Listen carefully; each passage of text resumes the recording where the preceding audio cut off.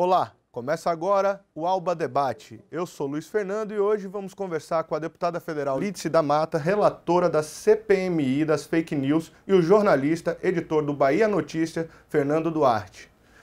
Vamos começar com a deputada federal, que também foi senadora, deputada estadual, vereadora, prefeita, tem uma vasta experiência na política e agora encara essa missão dada pelo Congresso Nacional de apurar os fatos relacionados às fake news, sobretudo nas eleições de 2018. Deputado, em que pé está esta relatoria, em que pé está a comissão? Olha, nós estamos, esta semana estaremos realizando a terceira sessão. O nosso grande desafio ainda é existir a CPMI, porque todos os dias o governo, o PSL, partido do, do presidente da República, ele faz uma obstrução muito cerrada, muito intensa. E nós até então não estávamos tendo uma mobilização dos outros partidos para fazer frente a esta obstrução. De maneira que até agora, em duas sessões, a gente só conseguiu aprovar no primeiro dia nove requerimentos e no segundo dia ler o, o plano de, de trabalho. Amanhã nós vamos fazer uma primeira tentativa de composição com o partido do governo, com o PSL, pela manhã cedo, vamos ter uma reunião, para tentar entender o que é que eles querem, o que é que eles querem negociar com a obstrução. E a partir daí, nós vamos decidir também a nossa estratégia de enfrentamento disso.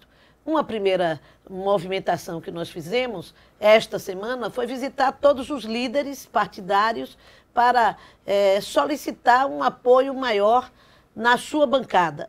Seja, se os deputados e senadores daquele partido não estiveram presentes até então, pedir que removesse esses, esses parlamentares e colocasse outros que estivessem mais disponível para o trabalho da CPMI. Eu acho que deu certo. Esta semana a gente vai ter mais gente da oposição também, conseguimos algumas vagas para ajudar a participação da oposição. Vamos ter de novidade a presença da deputada Jandira Fegali, que é líder da minoria. Vamos ter também um representante do PSOL, ambos como suplentes de um dos partidos, se não me engano, do PP. E vamos ter também, é, do outro lado, entrou o Eduardo Bolsonaro. Nós temos os dois filhos do presidente da República nessa CPMI, o que demonstra que a, o, tanto o PSL quanto o governo e talvez a família do presidente Jair Bolsonaro esteja, esteja muito atenta e muito tensionada com a existência da CPMI. Certo. O Fernando é editor de um dos maiores sites aqui da Bahia. E eu queria saber dele, Lídice, antes de nós continuarmos a pauta sobre as fake news no Congresso Nacional, sobre a CPMI, como é que dentro do jornalismo, dentro de um veículo de comunicação, é, a gente consegue controlar, mediar e evitar que seja propagada fake news? O grande desafio da imprensa é fazer com que as fake news deixem de existir, porque a gente não consegue eliminá-las, mas a gente consegue, com o jornalismo sério, coibir que elas se proliferem.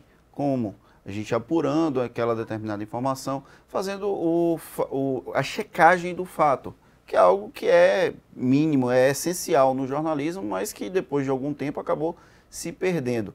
O grande problema é que as pessoas também trabalham com uma, uma espécie de descredibilização da imprensa. E isso provoca um grande problema, porque as pessoas usavam a imprensa para confirmar uma determinada informação e a partir do momento da descredibilização da imprensa, elas passam a olhar aquela informação como uma informação que pode vir a ser falsa. Não estou dizendo que a imprensa não erra, a imprensa erra, mas é muito mais fácil dentro daquele mecanismo de checagem, de averiguação dos fatos, que a gente consiga publicar uma informação precisa do que a informação que é falsa, que circula principalmente nos subterfúgios da internet, no submundo da internet, nas redes sociais como o WhatsApp, principalmente o WhatsApp, mas também outras redes como o Facebook, como Twitter, que acabam potencializando o alcance da mentira que sempre esteve presente na política mas que agora tem uma nova repercussão, já que ampliou a, o alcance dessas informações falsas. É. Deputada, dentro disso, é possível vocês, na verdade, vocês aprovaram algum requerimento convidando veículos de comunicação, representantes de veículos de comunicação, ou apenas de redes sociais, WhatsApp, Instagram, Twitter? Como é que está sendo feito isso? Já tem requerimento aprovado nesse sentido? Sim, os primeiros requerimentos foram que foram aprovados são aqueles que convocam as empresas. E há uma diferença entre convite e convocação. A convocação faz parte da linha de investigação. Então, ela acontece igual a um júri, igual a um processo investigativo policial. Um, você, o que é convocado não tem o direito de não ir, vai ter que dar explicações, etc.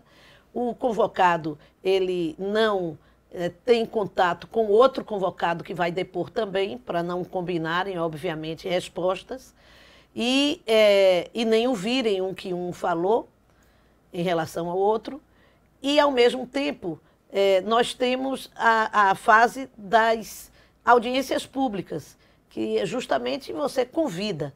Nessa área da audiência pública, nós temos a convocação da BI, nós temos a convocação ainda não aprovada, né? mas nós já, tem, já temos proposta para o convite à BI, o convite à Associação Brasileira de Jornalistas Investigativos. Nós estamos recebendo muitas é, sugestões de novos meios de comunicação, porque temos também é, jornalistas de determinado jornal que fez denúncia, é, jornalistas de outros meios de comunicação que participaram de investigações. Eu ainda não estou dizendo os nomes porque não tenho todos, não quero dizer só de um.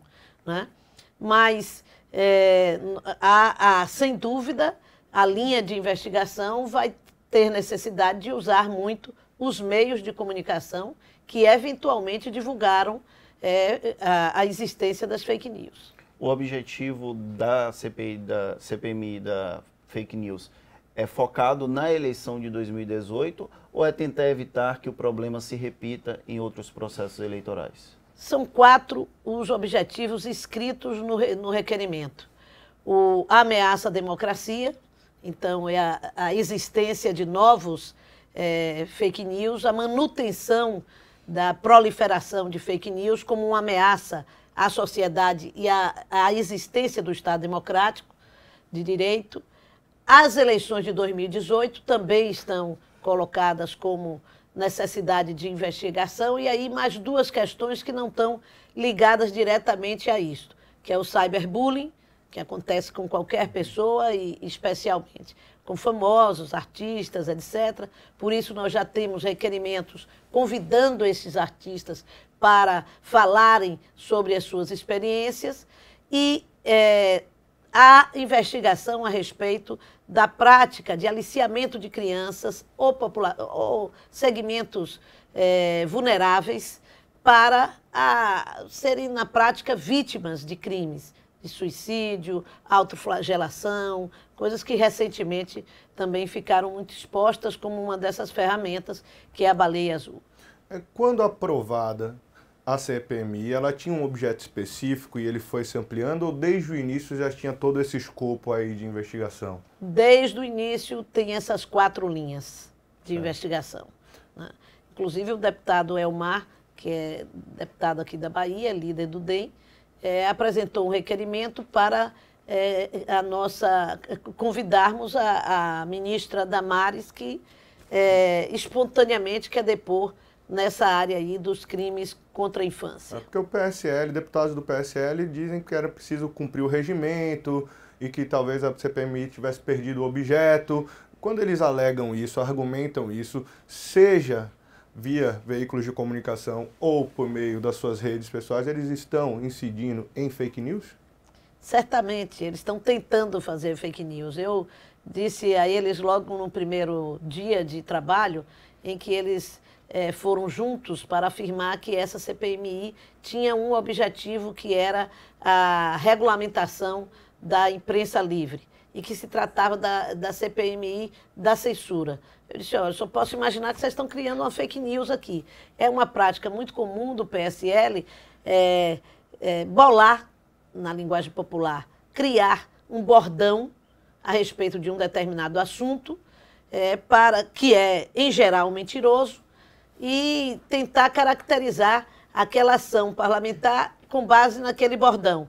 que isso serve para passar essa notícia nas redes sociais daquela maneira. Então, certamente, eles estão usando isso nas redes sociais dele, dizendo que a CPMI é, não tem objeto e que a CPMI é uma tentativa de censurar a imprensa livre.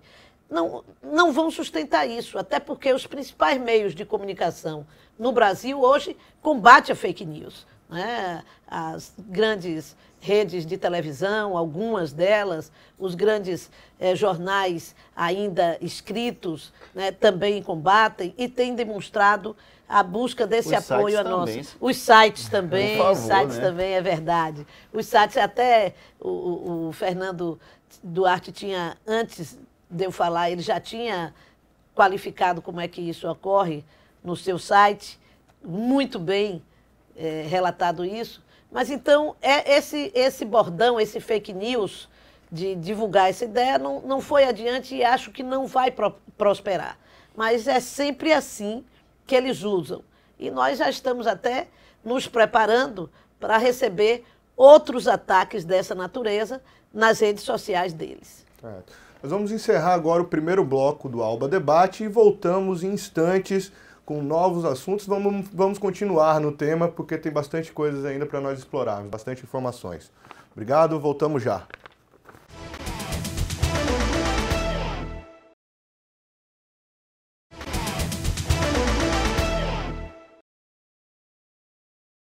Voltamos para o segundo bloco do Alba Debate com os convidados, deputada federal Lídice da Mata e jornalista e editor do Bahia Notícias, Fernando Duarte.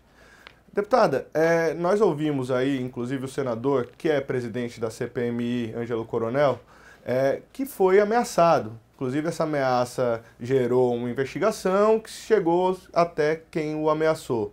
Qual é o ambiente para se promover uma CPMI, investigar crimes como fake news, dentro de um, de um universo que a gente tem tão duro, tão forte, tão dividido e tão visceral? As pessoas estão se tornando violentas no Brasil coisas que não era há bem pouco tempo atrás.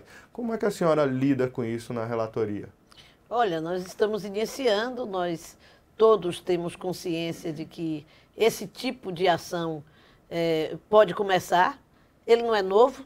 No período do, do, do impeachment de, da presidente Dilma, nós sofremos muito, especialmente as mulheres sofreram muitos ataques. E as investigações nem sempre foram tão rápidas.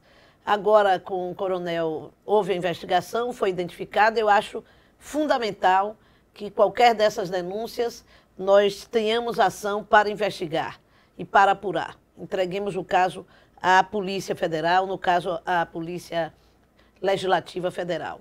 Porque é preciso que essas pessoas percebam que há punição e que não pode nós não podemos alimentar este clima. Né? Esse clima que é de ódio e que alguns podem achar que é irrelevante, mas vai que isso se torna uma ameaça real e nós não, não devemos estimular que isso aconteça. A CPMI já avaliou o que, que pode, o resultado final dela pode, por exemplo, indiciar pessoas que promoveram e que propagaram a fake news, isso é uma das possibilidades da CPMI? Claro, claro, é uma das possibilidades. De vez em quando pergunta, pode sair alguém preso?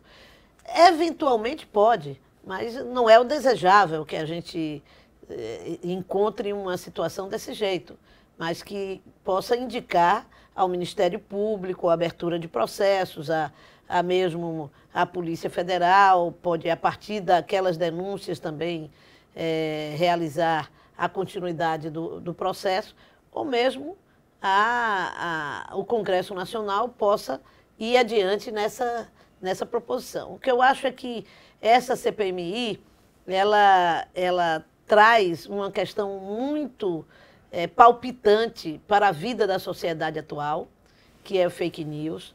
Ele é, o, o, bullying também é uma outra uhum. área que é muito sensível. As pessoas estão sofrendo bullying, estão sofrendo, é, principalmente adolescentes, nas escolas. O que antes era um apelido maroto, brincalhão, que saía da escola, saía do, do fundamental, já na universidade ele não via mais falar. Agora pode se transformar numa, numa, numa, questão séria, de, inclusive que leve a uma depressão de um jovem estudante numa, numa situação dessa. Então, são casos muito graves que nós temos que investigar. E veja, é, respondendo também a você, Luiz Fernando, quando se diz que o objeto é amplo, o deputado é, Felipe Barros entrou com essa ação junto ao Supremo Tribunal. E o Supremo Tribunal de pronto respondeu que não é verdadeiro. A, a, a, o fato em si é a existência da fake news. Como ela vai incidir, basta abrir os jornais e é, alguns meios de comunicação e ver as denúncias existentes concretas de que é, esse fake news existiu. Ou, pelo menos, printar, como se diz, fotografar uhum. os, os fake news que nós recebemos, as fake news que nós recebemos via WhatsApp. E este é, instrumento, essa ferramenta, esta, esta ação do WhatsApp se terminou se transformando numa das mais perigosas. Sim. Porque é uma rede fechada, as outras pessoas não têm acesso, em geral, grandes comunidades, porém é por onde mais se espalha a notícia falsa. É possível controlar isso na atribuição da responsabilidade? Por exemplo, nada impede que alguém que vote na senhora, que goste da senhora, faça, promova e distribua uma fake news sobre um adversário político. Sim. A senhora seria responsabilizada por isso. Como é, é possível identificar isso? Existem mecanismos, existem instrumentos, isso está sendo pesquisado pela CPMI, porque existe de fato núcleos montados por candidatos para distribuir fake news.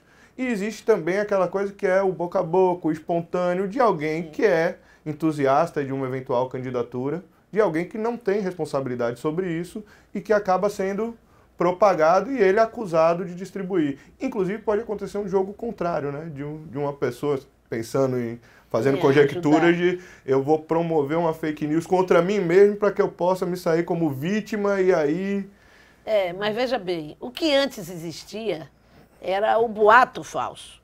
Era, tem um, sempre conto esse caso que tinha um político conhecido aqui na Bahia, que ele dizia que ele ia no bar mais é, frequentado da, daquela cidade pequena e lá ele plantava um boato contra o seu adversário, contra a família do adversário e assim por diante.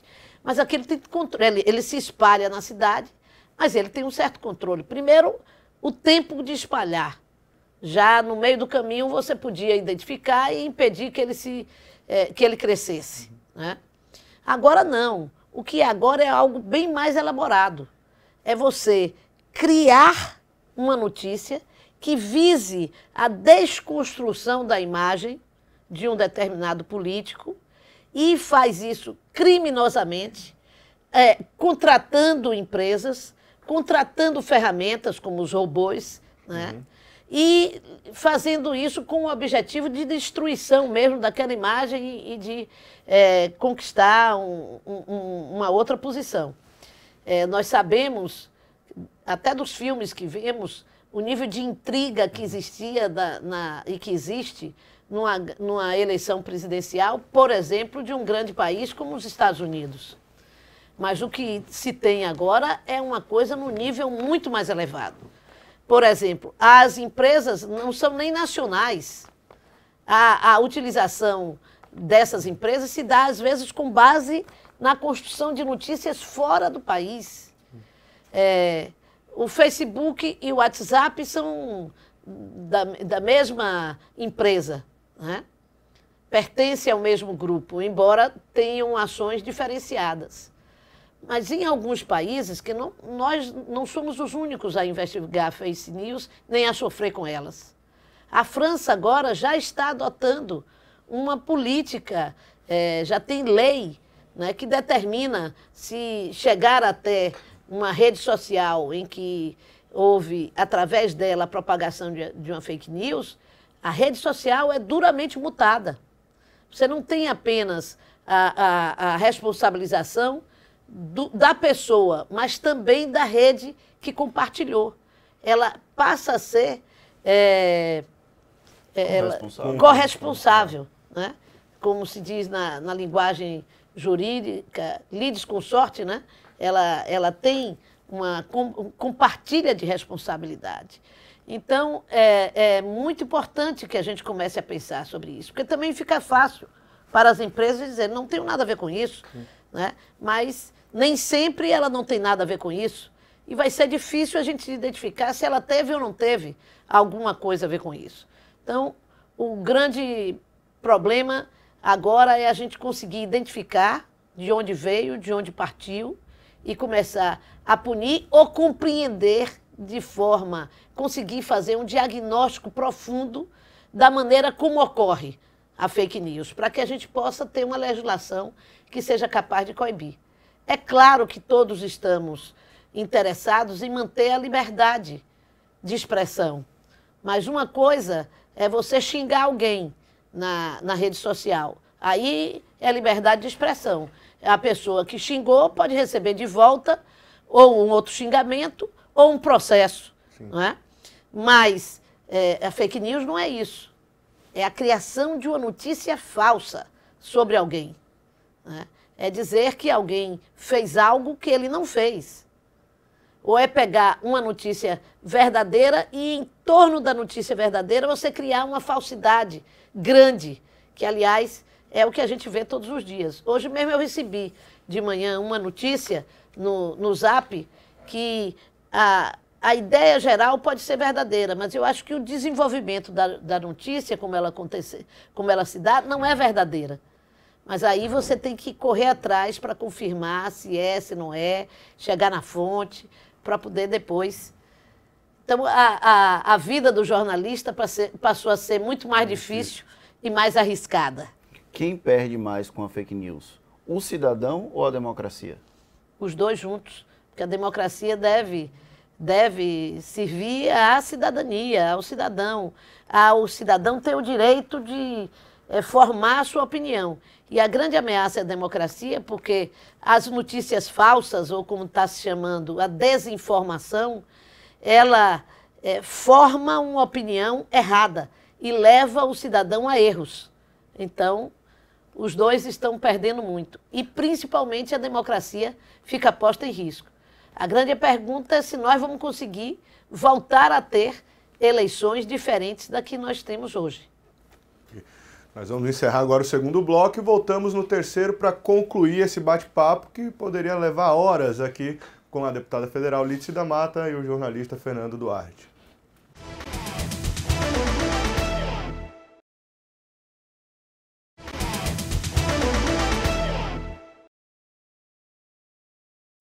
Estamos de volta para o terceiro bloco do Alba Debate, com a deputada federal Lídice da Mata e o jornalista e editor do Bahia Notícias, Fernando Duarte. Deputada, é, a CPMI não tem esse objetivo, mas ela pode promover, produzir algo que interpele ou faça com que a chapa Jair Bolsonaro e Mourão sejam caçados, seja caçada? Olha, a CPI a gente sabe como começa, não sabe como acaba. Isso é um, um bordão de todo o parlamento. Em tese, pode tudo. Né? Mas isso tudo é em tese. Agora, se nós chegarmos a uma investigação, por exemplo, que indique uma participação dessa, alguma medida terá que ser tomada. Esta é a grande preocupação do PSL? Eu creio que a grande preocupação do PSL é essa, a grande preocupação do PSL é também quem é, promoveu esse, esse material falso, porque não é possível o nível de agressividade que esteja acontecendo na casa em função dessa CPMI. E mais destacado ainda o fato dos dois filhos do presidente participarem desta CPMI. Né? É, Fala-se muito de que é justamente o fato do Carlos Bolsonaro poder ser convocado. Pode ser convocado? Pode. Pode ser convocado. Para isso, nós precisamos ter voto suficiente para convidá-lo, para convocá-lo para que ele preste esclarecimento, já que ele foi o coordenador da, da campanha de, de redes sociais do pai. Mas veja bem, tudo isso eu creio que seja um processo a posteriori. Por enquanto, nós estamos na primeira etapa, que é que a CPMI funcione e, funcionando, ela consiga atrair trazer especialistas para conceber o que é fake news e que a gente possa identificando pouco a pouco os caminhos em que isso ocorre. Tem muito boato, que podem ser verdadeiros, que, por exemplo, em Brasília tem um bunker da, do PSL só voltado para fazer fake news. Identifica-se, sai boato de que quem é que controla isso, quem não é, mas vamos ver. Frota, por exemplo, disse é, no, na Câmara abertamente que ele sabe quem foram as pessoas que promoveram fake news na campanha, porque ele participou da campanha. Quem sabe a gente consiga convencê-lo de que ele deve falar isso na CPMI para todo o Brasil. A gente podia aproveitar e mudar um pouquinho de assunto, porque eu achei uma engraçada coincidência quem são os dois principais nomes da CPMI da fake news. São dois daqui da Bahia, o Ângelo Coronel e a senadora Lídice da Mata, ex-senadora Lídice da Mata, que acabaram tendo momentos de tensão no processo eleitoral de 2018. Isso é uma prova que já foi superada, essas tensões entre Coronel e Lídice, lá aqueles resquícios do período que não sabia se a senhora seria candidata ao Senado novamente e Ângelo Coronel acabou com a vaga? Olha, eh, na política não existe essa história de é, definitivo, né, né, conflitos definitivos, a não ser quando a situação está num campo muito diferente. Né? Tanto eu quanto o coronel estamos os dois da base do governo de Rui Costa e de Wagner no início. Portanto, temos relações normais, políticas, nos tratamos e agora na, na CPMI faremos um trabalho coordenado, organizado, o máximo combinado porque se não combinar o jogo do, do presidente com o do relator, o da relatora, embola a CPMI. Então nós vamos trabalhar juntos, sim. É possível, e aí já entrando nesse assunto de eleições, de política nossa do dia a dia, é, é possível, a senhora vê como possível a manutenção desse mesmo escopo, desse mesmo grupo, desse mesmo agrupamento político nas eleições de 2022 e mais do que isso, em 2020 se consegue harmonizar nas municipais esse ambiente político? Olha, municipal não dá, né? A gente tenta, mas é muito difícil numa base tão ampla que não haja uma disputa entre os partidos que estão na base. O que é importante é que essa disputa seja livre. Né? Há algumas referências. O governador provavelmente não participará, de, para ajudar uma campanha de um candidato que não votou nele nas eleições. Isso, dentro do Conselho Político, nós haveremos de normatizar. É claro que tudo isso, a política não tem regras muito definidas nessa questão de disputa. Isso no município. Né? É, os partidos fazem um esforço, mas se não houver disputa interna, ninguém cresce a situação permanece como está. Não pode surgir nenhum candidato novo no município que passe para um dos partidos, isso não existe. Quanto a o grupo geral em 2020, eu acho que isso depende muito das candidaturas que se construírem para presidente da República, porque elas geralmente dão o tom geral, a organização geral em torno da, dos estados, né? de como vai se organizar nos estados. É claro que a gente é, defende que isso permaneça, torce, mas vamos chegar lá. A senhora é a favor de uma reforma eleitoral que de fato unifique as eleições ou acredita que esse modelo ainda tem é, lenha para queimar? Eu acho que o processo no Brasil, é, do jeito que, que se dá, ele é muito caro e é ruim. Né? De dois em dois anos nós temos eleições com essas características. Se era para ter tanta eleição, eu acho que devia ser como é no resto do mundo, que são as eleições parlamentares dissociadas das eleições é, executivas. Então, você tem primeiro a eleição parlamentar e, a partir da formação daquele número de cadeiras, você vai para uma eleição é, presidencial ou uma eleição executiva. Mas acho muito difícil, porque é, nos países parlamentaristas é assim. Você vê agora que é, em Israel a disputa, a, a, o, o, partido progressista, digamos assim, de centro, passou o partido de direita, dois, dois, duas cadeiras.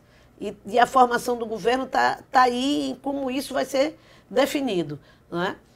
Nos presidencialistas, o modelo é sempre muito complicado. E eu espero que a gente possa evoluir para um, uma coisa mais mista. É, nos Estados Unidos, por exemplo, que é sempre usado como grande referência de presidencialismo, você não tem uma eleição presidencialista como tem no resto da América Latina. Você tem uma eleição que é uma eleição é, direta, mas tem os colégios eleitorais que no final é que dá as cartas para o, o, a decisão do presidente. O presidente Trump perdeu na eleição é. direta. Né? Quem ganhou foi Hillary. É. Mas nos delegados ele termina ganhando. Né? Então, isso eu não vejo com muita simpatia o modelo americano, não acho que seja o melhor, mas nós precisamos encontrar um, um meio termo. E aqui no Brasil se fala muito de unificar todas as eleições, de vereador a presidente da República. Eu, às vezes, tenho dúvida, porque acho que isso pode também monopolizar a eleição. Né? Quem ganha a presidência da República monopoliza politicamente o país inteiro com essa dimensão que tem o nosso país, eu não, não acho isso positivo. Mas admito pensar nessa hipótese, porque realmente todo esforço nós temos que fazer para diminuir o custo eleitoral no Brasil. Uh, você falou da reforma, Luiz. A reforma da Previdência passou no Senado, vai sofrer algum tipo de modificação e voltando para a Câmara, vai ter novo embate lá? Embate nós não vamos negar, nós não vamos deixar de, de fazer acho que dificilmente, infelizmente, mudaremos o resultado. Vai continuar sendo uma reforma profundamente contra os mais pobres no Brasil. É o discurso de que era a, resposta, a, a reforma para tirar privilégios, é, que se iniciou na propaganda eleitoral, na propaganda presidencial, ela não se mantém. Muito difícil um trabalhador é, hoje não está consciente de que essa reforma é uma reforma que vai prejudicá-lo.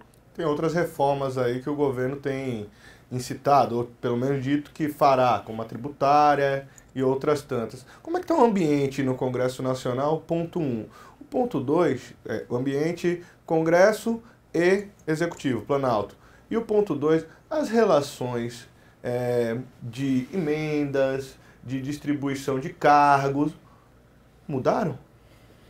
Olha, o que mudou um pouquinho mudou no início, né? Agora a gente vai vendo toda a movimentação para não ter mudanças.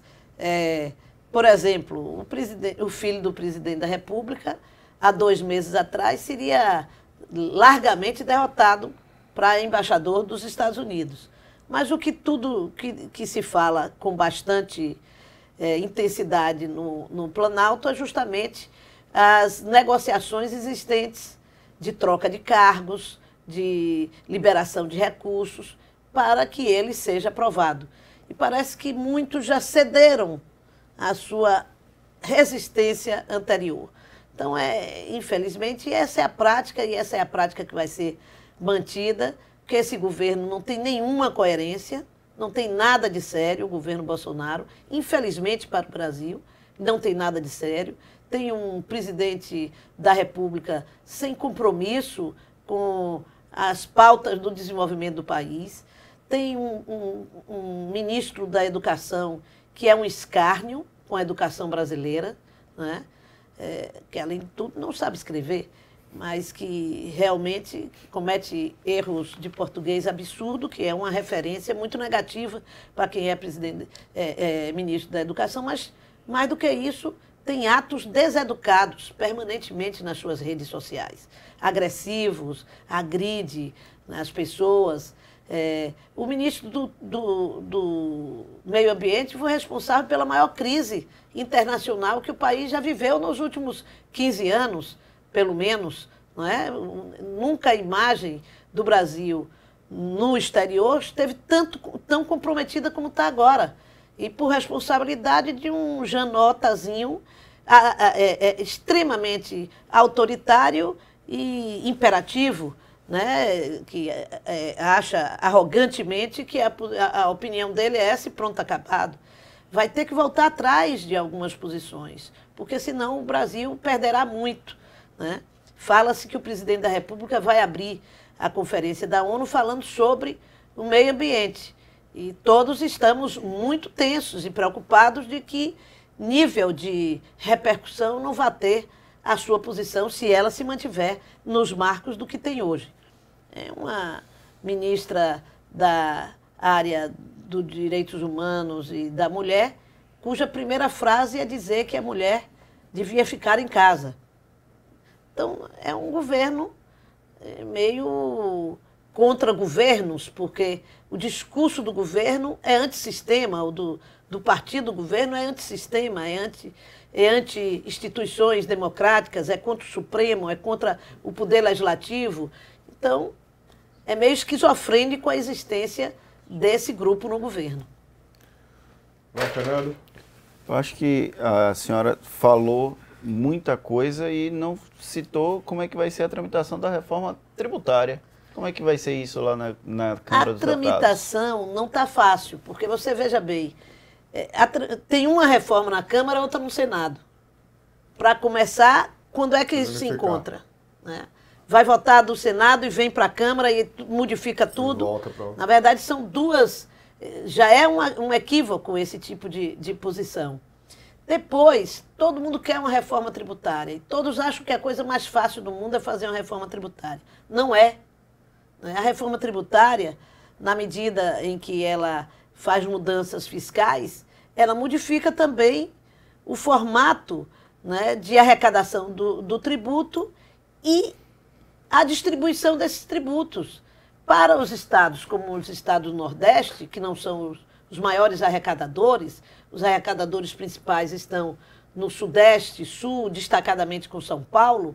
Né? Se não há, na unificação dos tributos, se não há um, mecanismos de compensação, de redistribuição da, das riquezas é, arrecadadas, não é uma vantagem. As capitais brasileiras, por exemplo, estão no movimento. Eu tive na Câmara de Salvador nessa última sexta-feira, porque estão os prefeitos de capital preocupados, porque eles perdem a autonomia tributária, eles perdem a autonomia arrecadatória. Então, como é que isso fica? Os pequenos municípios praticamente não arrecadam, eles vivem do fundo de participação. Mas as grandes cidades brasileiras, não. Esta tem arrecadação própria, esta tem capacidade de autogerir-se. Então, é preciso discutir isso com muita calma, com muita tranquilidade. E se você olhar, eu até dou risada, porque todos os dias eu sou abordada, eu como todos os outros deputados e deputadas, por dezenas de, de rapazes e moças que ficam recolhendo assinaturas para dar entrada nas emendas. As emendas que estão postas, elas excetuam, cada uma delas excetuam um setor da reforma tributária. Ou é a indústria, ou é o comércio, ou é o turismo, ou é a, a produção agrícola de tal forma, ou é a, a, a exportação, a importação. Tanta coisa que não tem como ter reforma tributária. Então, só você peneirar isso já é um tempo grande que se gasta. Então, na minha opinião, reforma tributária é coisa para o próximo ano. E ela tem uma, um, um pecado mortal, essa reforma tributária ela não pensa em novas fontes de arrecadação. Ela não modifica a, a, o pensamento distributivo e não busca a, a, digamos assim, a tributação extra dos mais ricos no Brasil. O que é que nós queremos com a reforma tributária? Acabar com a taxação sobre consumo, porque essa alcança pobres e ricos da mesma maneira. Nós queremos que os ricos paguem mais e os pobres paguem menos. E nisso a reforma não, me não mexe. A oposição está apresentando é, algumas propostas que vão nessa direção.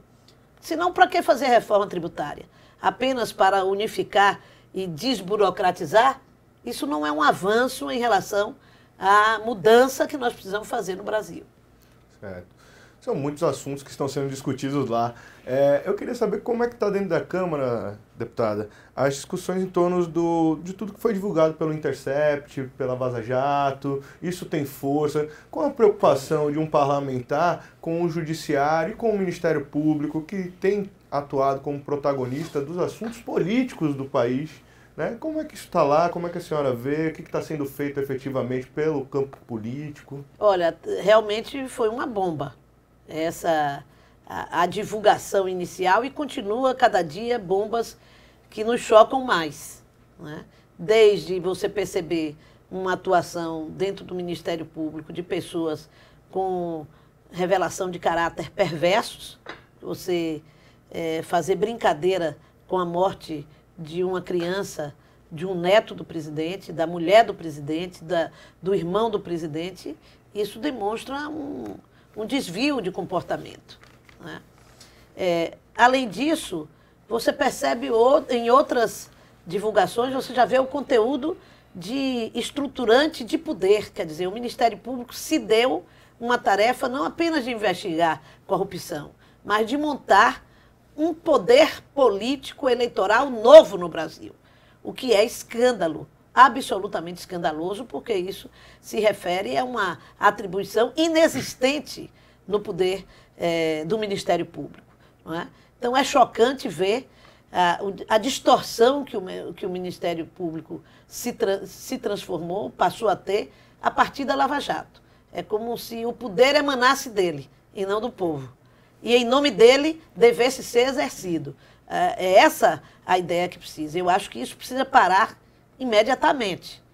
O que está sendo isso, feito para poder por isso se votou uma, uma, uma lei de abuso de autoridade. Já existia a lei de abuso de autoridade antes, já, mas as demonstrações que tivemos na vida objetiva deu para o parlamento a ideia de que era preciso avançar mais neste posicionamento. Assim como agora nós estamos diante de uma tragédia no Rio de Janeiro. Quer dizer, são 16 mortes. Uma menina morre esse fim de, de, de semana. É possível continuar isso? É possível continuar tendo um, um, um projeto anticrime no Congresso Nacional que aponta na direção de permitir que essas coisas ocorram sem punição policial? Não. Eu acho que a punição não devia ser só policial. Devia se responsabilizar também o governante, que é quem dá a ordem. E no caso do Rio de Janeiro, é, há uma política de segurança que é, é, é, propagandeada pelo, pelo governador. O governador disse que se você não quer morrer, você não deve sair de casa. Onde é que nós estamos?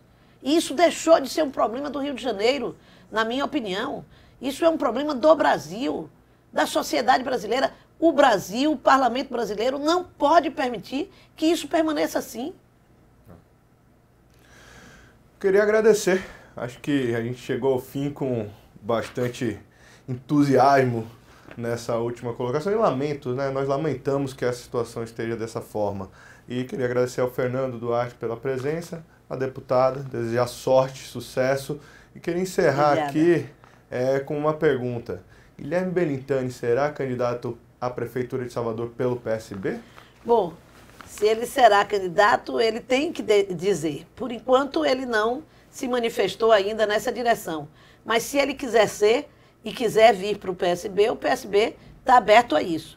Por enquanto, eu sou candidata a prefeita pelo partido, estou discutindo essa candidatura, é, acho que tenham contribuições a dar, mas ninguém, nenhum de nós tem uma visão tão fechada que não compreenda que é possível ter novas lideranças e o partido, principalmente, que está num processo de autorreforma nacional e aberto, portanto, a novos pensamentos e novas lideranças.